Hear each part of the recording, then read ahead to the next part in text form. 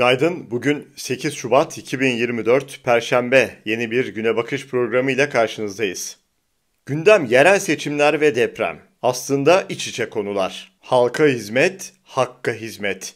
Tabi yersen. Rantın büyüğü İstanbul iştah kabartıyor. İktidar yarım kalan işini tamamlayacakmış. Betona gömmedikleri, rantını yemedikleri yerler varmış. Arap şeyhlerine şehri helikopterden gösterirken gözlerine çarpmış galiba. Bu arada rant demişken Ankara'yı 25 yıl yöneten parsel parsel Gökçek kaşınınca Gökhanzan ağzına jelibonları tıkamış. Belediye başkanlığı adaylığında ve seçimlerde oy isterken bu yapının kucağında oturmuştur. Ve bu yapıya Ankara'yı parsel parsel satmıştır. Eski milli futbolcu Gökhan Zan'dan kendisine futbolcu olacağına artist olsaydın diyen Melih Gökçe'ye kapak gibi yanıt. Helal ülkenin haramzade siyasetçisi Sayın İ nokta nokta Melih Gökçek. Ben futbolumu alın terimle, namusumla, şerefimle icra edip Türkiye'nin en büyük kulüplerinde forma giymiş sporcularındanım. Yeri geldi aç kaldım, yeri geldi kışta kıyamette kaldım. 9 kişilik ailemle yokluk içinde bir hayat sürerek şerefimle yaşadım. Ama din satarak kimsenin kul hakkına girmedim. Sizse kendi halkına ihanet etmiş, kendi partisi tarafından hain ilan edilmiş, aynı masada yemek yedikleriniz tarafından cenaze törenlerinde görmezden gelinmiş, zavallı bir jeliboncu, devletin malına çökmüş, mafyavari bir şahsiyetsiniz. Benim gözümde pul kadar bile değeri olmayan, utanma eşiğinden atlamış, siyasetin yüzsüzü bir canlı türüsünüz. Parsel parsel işlediğiniz veballeri ve aldığınız ahları yedi hamamda yıkansanız temizleyemeyeceğiniz gibi film setlerinin kötü artisti bile olamazsınız. Ve tanıştığımıza da hiç memnun olmadığım gibi tüm ülke gibi sizi tanımamayı dilerdim.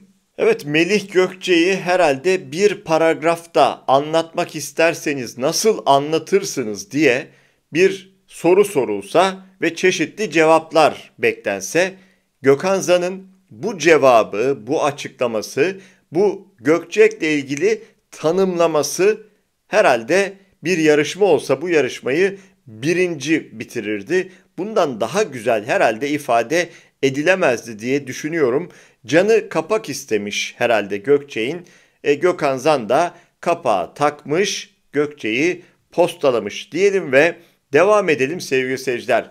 Programı açarken dedik ya gündem, deprem ve aynı zamanda yerel seçimler tamamen iç içe geçmiş bir şekilde devam ediyor. Fatih Erbakan gündemde yeniden Refah Partisi Genel Başkanı. Biliyorsunuz Fatih Erbakan geçtiğimiz günlerde özellikle kendi adaylarıyla seçime girme kararını açıklamasından sonra bir anda hedef tahtasına oturtuldu. Fatih Erbakan hakkında suç duyurusu, Adnan Oktar grubu ve FETÖ ile bağlantısı olduğu öne sürüldü. Ocak Partisi, Yeniden Refah Partisi Genel Başkanı Fatih Erbakan'ın Adnan Oktar suç örgütü ve FETÖ ile bağlantısı olduğunu öne sürerek konuyla ilgili Ankara Cumhuriyet Başsavcılığına suç duyurusunda bulundu. Bu hamlenin Yeniden Refah Partisi Genel Başkanı Fatih Erbakan'ın 31 Mart yerel seçimlerinde AKP ile ittifak yapmama, Ankara, İstanbul ve İzmir'de kendi adaylarını gösterme kararı aldıklarını açıklamasının ardından gelmesi dikkat çekti. Acaba rastlantı mı diye soralım sevgili seyirciler veya şöyle tersten soralım. Yeniden Refah Partisi seçimlerde de yani yerel seçimde de ittifaka devam kararı alsaydı ve kendi adaylarımızı çıkarmayacağız, AKP'nin adayını destekleyeceğiz açıklaması yapmış olsaydı Fatih Erbakan partinin genel başkanı yine de Fatih Erbakan hakkında böyle bir suç duyurusunda bulunabilir miydi diye ben sormuş olayım. Cevabını da sizlere bırakalım. Lütfen programa o yorumlarınızı yazın sevgili seyirciler ve devam edelim. Evet depremin o acı o büyük depremin Kahramanmaraş depreminin ki sadece Kahramanmaraş değil 11 ilde ve belki daha fazlasında çok geniş bir alanda büyük bir yıkım yaptı sevgili seyirciler. Yıkım yaptı. Asrın felaketi dendi ama bu felaketin boyutlarının büyümesinde ne yazık ki bu iktidarın sorumsuz ve beceriksiz yöneticilerin payı çok büyüktü. Dahası bu büyük felaketin üzerinden bir yıl geçmesine rağmen henüz yaraların sarılmaması, yaraların sarılmadığı gibi bölgeye giden iktidar partisi mensuplarının hala halkı tehdit ediyor olması da işin başka bir skandal boyutu ve maalesef skandallar bitmek bilmiyor. Hükümetin halka yardım ediyoruz dediği para da halktan alınmış. Depremzedeye yapılan hane başı 10 bin liralık destek ödemesi devlet bütçesinden değil AFA'da yurttaşlar tarafından yapılan bağışlardan karşılanmış. Dedik ya bitmeyen skandallar zinciri sevgili seyirciler. Vaat edilen konutlar, teslim edilmeyen, bitirilmeyen, tamamlanmayan konutlar bizzat Cumhurbaşkanı Erdoğan'ın vaatleriydi sevgili seyirciler. Bunların hiçbiri gerçekleştirilmedi. Özellikle Hatay sevgili seyirciler tamamen kaderine terk edilmiş durumda. Hala çadırlarda yaşayan depremzedeler var ve Hatay'a giden ülkenin cumhurbaşkanı bize oy vermezseniz biz de size hizmet getirmeyiz diyebiliyor dedi. Bu ülke bu cumhurbaşkanının bunu yaptığını da gördü maalesef. Ve İstanbul'la devam edelim sevgili seyirciler. İşte bu felaketler olmasın diye yıllardır İstanbul'la ilgili uyarı yapıyor bilim insanları. İstanbul'u depreme, olası depreme, büyük bir felakete hazırlayın diye çırpınıyor bilim insanları. Bırakın bununla ilgili büyük felaketle ilgili bir hazırlık yapmayı adeta İstanbul'a ihanet etmeye devam eden bir iktidar. Konu İstanbul deprem ve yerel seçimler olunca gazeteci İsmail Arı'nın bir sene önce duyurduğu haber yeniden gündem oldu. İlk depremde İstanbul Anadolu yakasının en büyük deprem toplanma alanı olabilecek alan içerisinde TSK'nın ekmek fabrikası dahi bulunan ve kuzey ormanlarının bir parçası olan Çekmeköy kışlası şimdi bu halde. Araziye emlak konut beton döküyor. Vallahi sizin yatacak yeriniz yok diyor İsmail Arı. Emlak Konut'un Çekmeköy Kışlası olarak bilinen Şehit Onbaşı Azim Özdemir Kışlası'nın arazisine inşa ettiği Çınarköy Evleri projesi için çok sayıda ağaç kesildi. 1774 konut, 141 villa ve 56 ticari alan inşa etmek için ormanlık alan talan edildi. Sizin yatacak yeriniz yok diyor bu haberi paylaşan Bir Gün Gazetesi muhabiri İsmail Arı. Herhalde bu sözün üzerine de söylenecek bir şey yok sevgili seyirciler.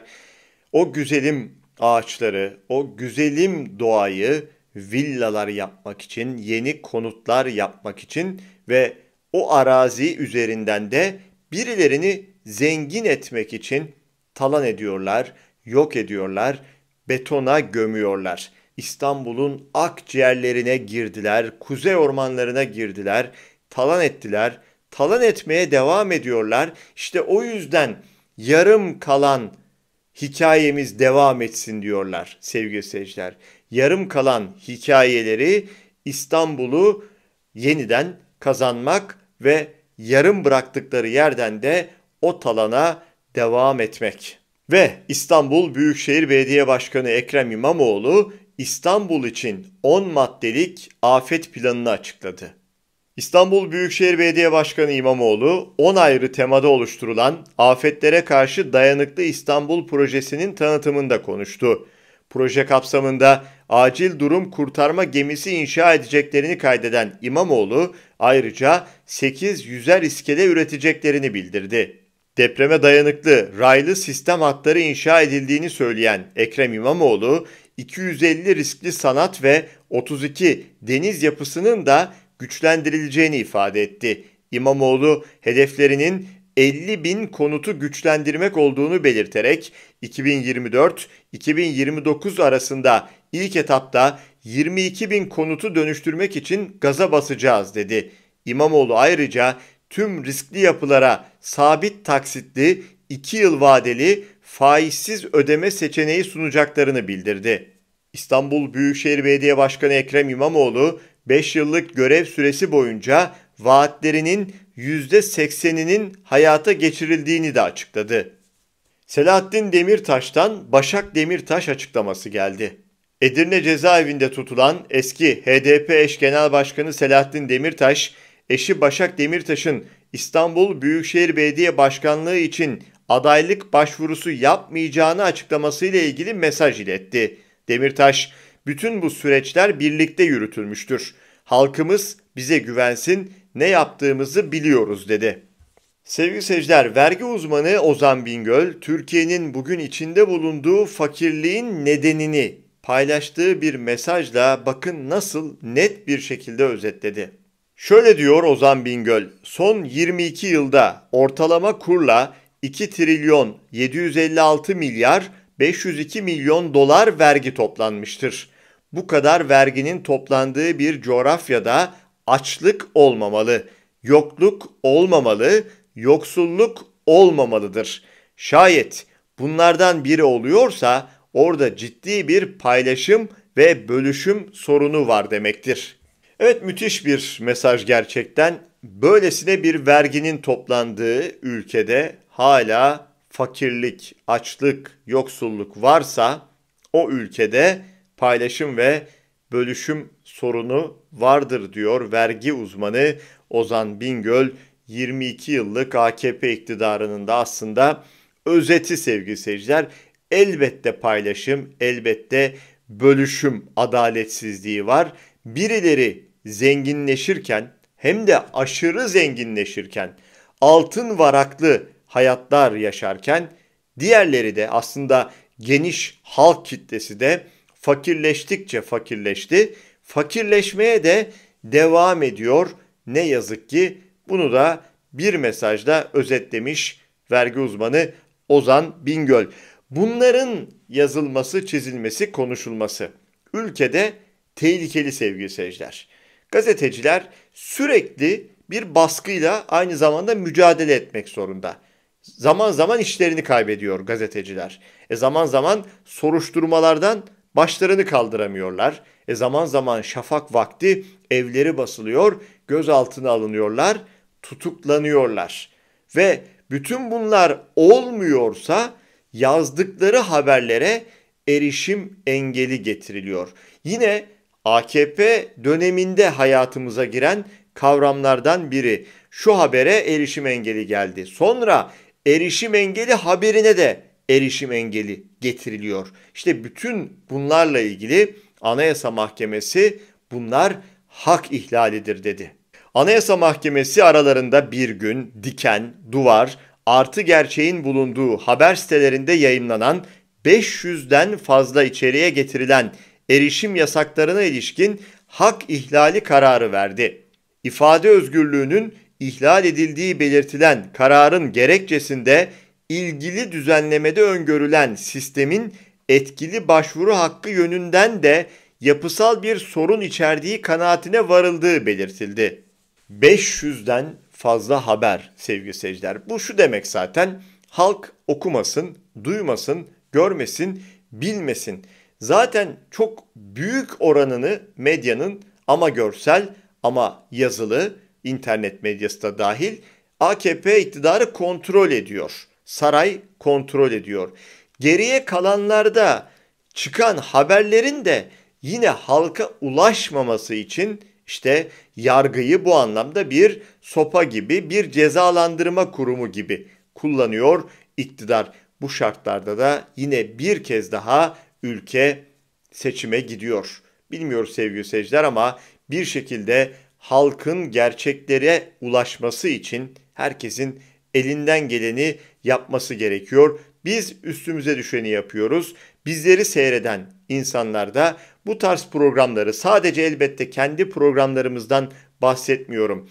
Bu işi iktidar baskısına rağmen yapmaya çalışan kim varsa sevgili seyirciler, hangi görüşten olursa olsun e, bir şekilde bütün bu bağımsız kuruluşların, muhalif yayıncıların, gerçek gazetecilerin bir şekilde desteklenmesi gerekiyor. Bunun en iyi yolu da bu haberlerin, bu programların yayılması, ulaştırılması, beğenilmesi, yorumlanması, şahsi hesaplardan eşe dosta tanıdığa paylaşılması ki daha geniş kitlelere ulaşılsın diyelim ve bugünkü güne bakışı burada tamamlayalım. Cuma sabahı Türkiye saatiyle 7'de her zaman olduğu gibi bu ekranlarda buluşmak ümidiyle. Hoşçakalın.